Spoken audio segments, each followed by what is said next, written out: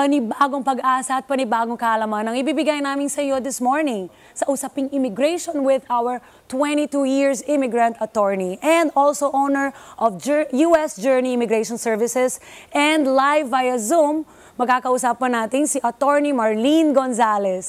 Good morning, Attorney! Hi, Attorney Good Marlene! morning, Miss. Good morning, Miss Diana and Kada fans. It's good to be Yes. here.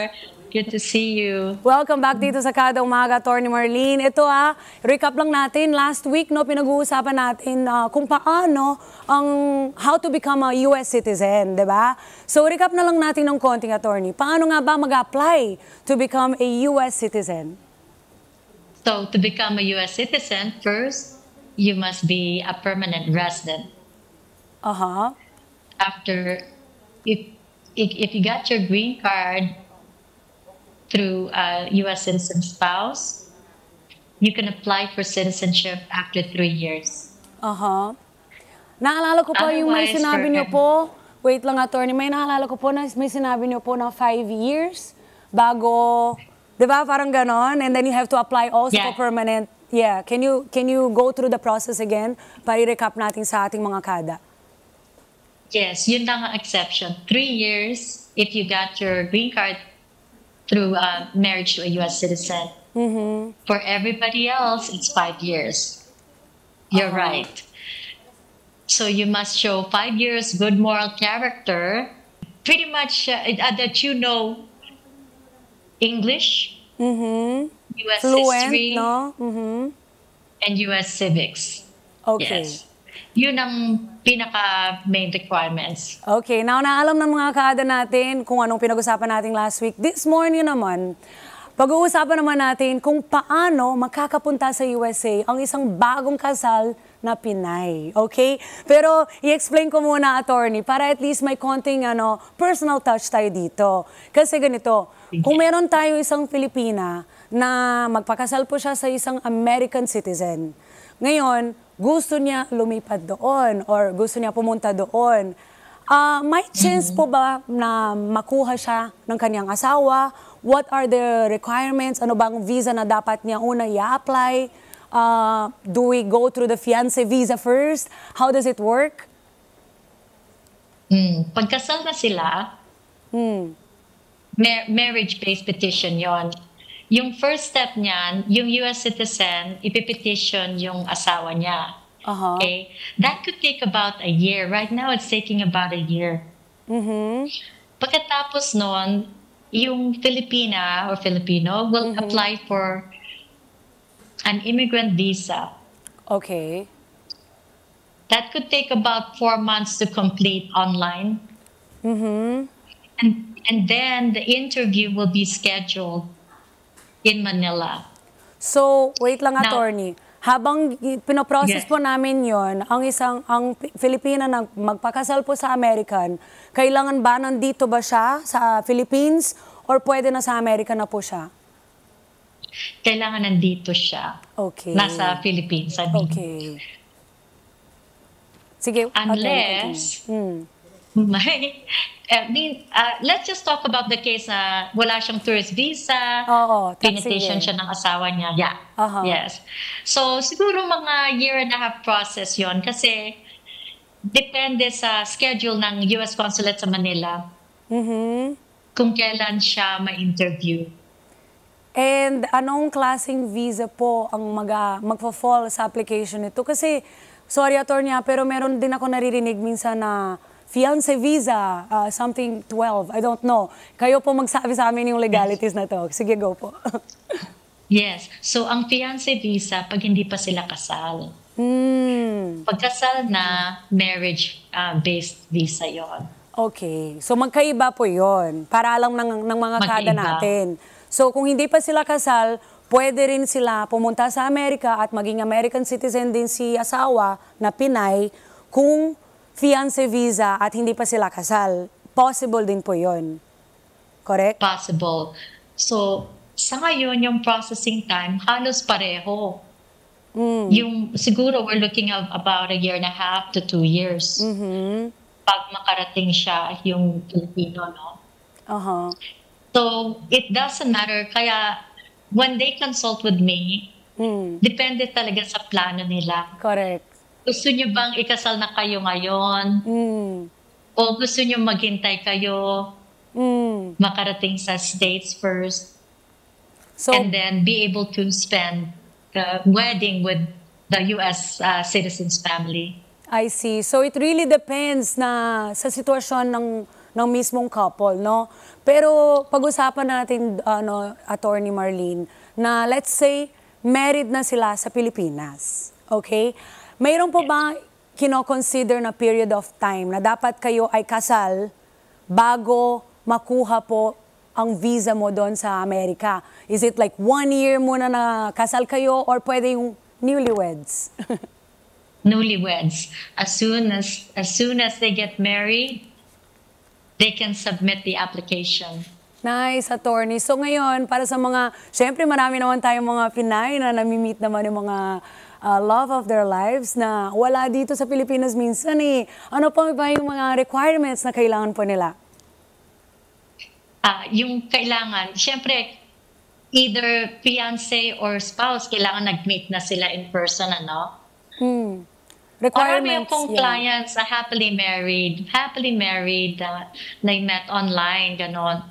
But a lot of times people, it's hard for people to meet now, you know, it's common for people to meet online. But the US citizen has to be able to meet the fiance in person first. Mhm. so they can start the petition. but if after they met, pero let's say kinasal sila sa Philippines, they can start the petition as soon as the day after their wedding. And what are the requirements na po kailangan? Ah, ang importante dyan na they have to prove na Sila it's a real talaga. marriage. Correct. good faith, ang tawag namin, good faith marriage. Hmm. Bona fide marriage. So ito yung process So- na to ba, Attorney Marlene? One year and a half din to? Naghihintay sila. Okay. Kaya, Sige, go Ah, ahead. Sa kaso na yan, pwede naman yung US citizen dumalaw maybe a couple times before they actually go to the interview. Okay. Pero yung ano, yung yung Filipina lang ang ang nag interview I see. I see. Hindi, sa, hindi pala sabay. Hindi, hindi Okay. niya kailangan. Aha. May mga nagdi-disapprove ba ba sa ganitong application, attorney? Ah, meron ba nangyayari ng ganun sa inyo? Ah, madalas yung minsan yung affidavit of support, Hmm. the US citizen has to show that he has the required income. Aha. Ah, usually naman, the US citizen does, pero hindi nila naintindihan yung paano fill out yung ah, affidavit of support form. Hmm. And kayo po, ginaguide nyo po pareho yung Pinay at yung American. Tama po ba?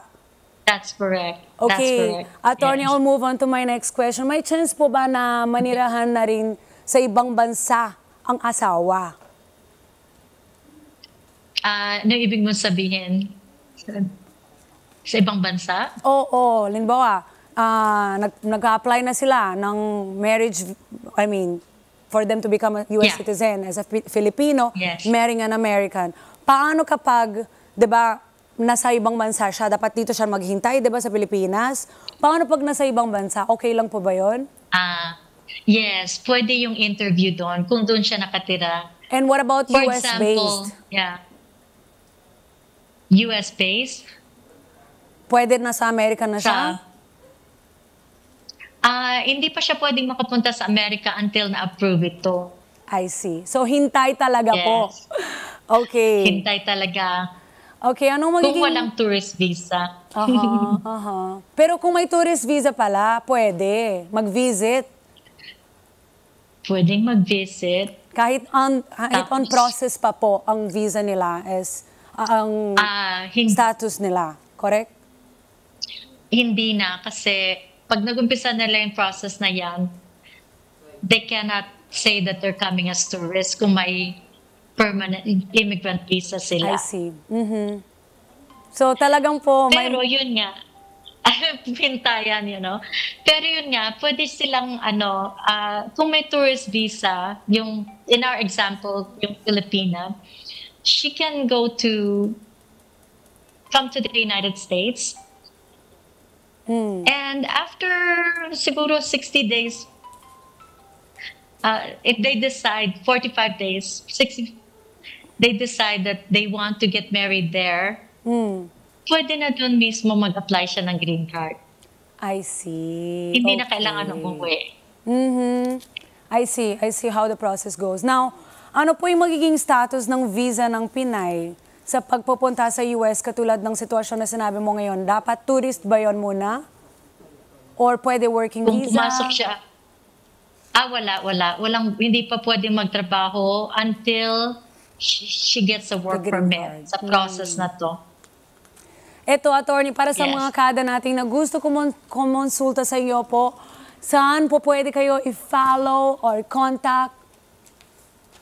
So, may Facebook page ako, Hmm. ah, Attorney Marlene Gonzalez. At saka sa website namin,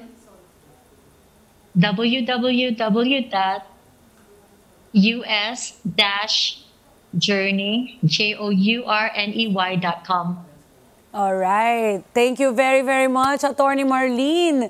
Sana lahat ng Thank mga you. concerns ng ating mga Pinay na naghanap na ng ano ng future or ng love nila sa buhay, may pag-asa na sila at meron na silang at least konting kaalaman dito kung paano na sila pupunta sa Amerika at kung paano nila itutuloy yung kasal nila. Sa mga katanungan or That's concerns sa usaping immigration, magme-message na lang kayo mga kada sa Facebook page din ng Net25 at asahan nyo pong sasagutin namin ang iyong mga katanungan. Hello mga ka-Net25!